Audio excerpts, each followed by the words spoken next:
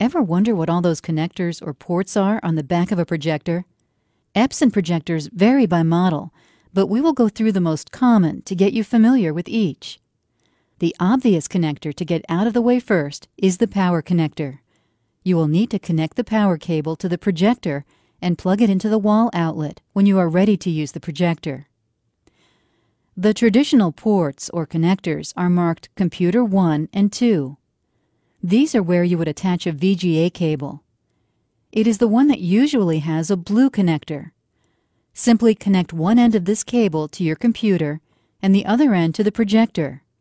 There are two in case you have two computers or two users that need to present material, or if the room has a dedicated computer connected and room for you to bring in your laptop. Once connected, you usually have to press a combination of keys to allow the computer screen to be passed through to the projector. On my computer, it happens to be function F7. On other PCs, it varies by brand. On Apple computers, you would need to connect the VGA cable to a mini DisplayPort adapter. Then select System Preferences from the Apple menu, then select Displays. Next, click Detect Displays. Make sure the VGA display or color LCD dialog box is selected. Lastly, click Arrangement or Arrange to make sure Mirror Displays is selected. A much easier way to connect to an Epson projector is to connect via USB. Now, there are two ports marked USB on the back of some Epson projectors. One is the USB Type A port, which is rectangular, and the other is the USB Type B, which is square. To display using a computer and an Epson projector, connect the square end of a USB cable to the Type B port on the projector and the other end of the cable to the rectangular Type A port on your computer. The first time you connect the Epson projector to your computer with a USB cable, the projector will download a driver to your computer to allow it to receive and project the image. Follow the on-screen instructions to install the Epson USB display software and select Yes if it asks you about the firewall. Then you should be up and running. Next time, it is as simple as plug and project. Depending on the model of Epson projector, you may be able to send sound from your computer to your projector via the USB connection. See your owner's manual or the projector menu to select. The USB Type A connector on the back of your Epson projector provides freedom from your computer. What this means is you can project images from a digital camera, USB thumb drive, or a document camera like the Epson DC06 the images that are stored in the supported formats can be displayed and selected through the projector's menu. This enables you to show digital signage or slideshow presentations when you're on the road or anytime you don't want to carry your computer with you. You can connect up to four video devices and use the remote control or control panel to switch between them. So, besides the computer ports we discussed earlier, S-Video also allows you to connect the projector to another piece of AV equipment you may need to select the source button on your projector's remote or on the control panel on top of your projector to start projecting. Composite or RCA video connections produce lower quality images than some of the other video connections, but it is just fine for most applications. These are the cables you have most often seen with your audio-video purchases in the past. This is the three-pronged cable that has the yellow, red, and white connectors. The yellow connector is for video, the white is for left audio, and the red is for right audio. Connect each end of the cable to the AV device, like your DVD player, and the other ends to the projector. Please select the Source button on your projector's remote control or on the projector's control panel if the image doesn't come up automatically. Then you're ready to go. A little note, if you are using your projector with a device other than a computer, and the video quality is important to you, here is a list of the video connection quality on a scale of 1 to 10, 1 being the worst and 10 being the best. HDMI and DVI are the best with component in a close second followed by S-Video, then VGA, and composite falling in last.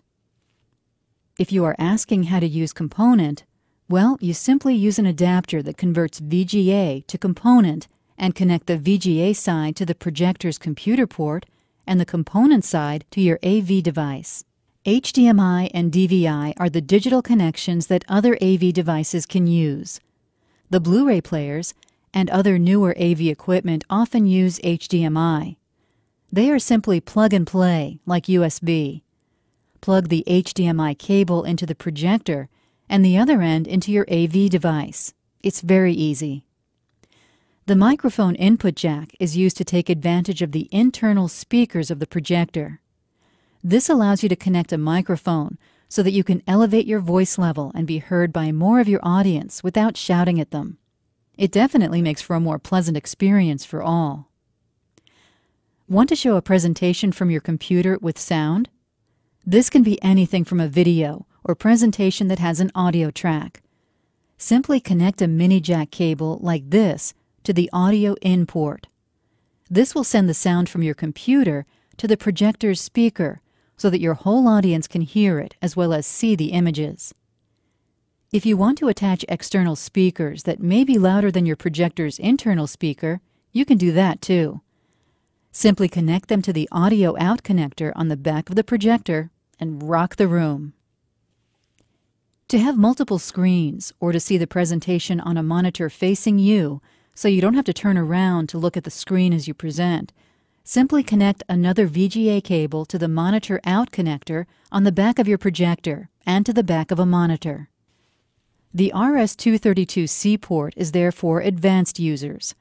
Most people may never have the opportunity to use this since it is used to download firmware updates to the projector or to use it with a control system.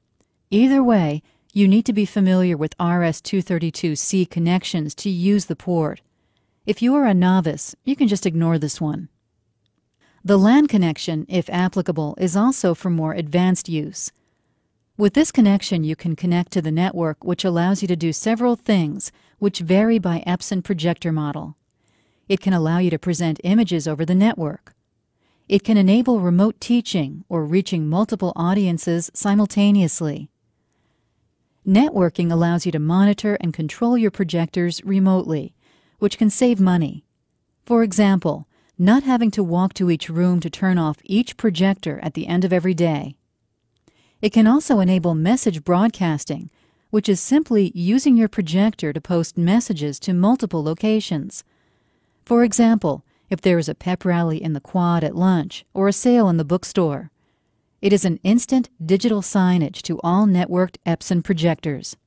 Wireless connection, if applicable, is a great way to future proof your projector purchase.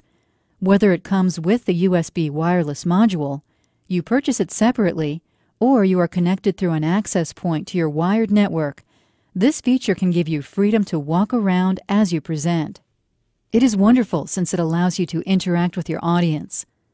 To connect the USB wireless module, the port is usually behind a door or in a cut on the front side of the projector. Simply slip the module into the USB slot, close the door, and you are on your way to the software setup. I hope you now have a clearer understanding of the ports on the back of your Epson projector. This should help give you familiarity with the devices that can enable you to give productive and captivating presentations to any audience, as well as save some money. Epson understands. You asked, we delivered. Epson, exceed your vision.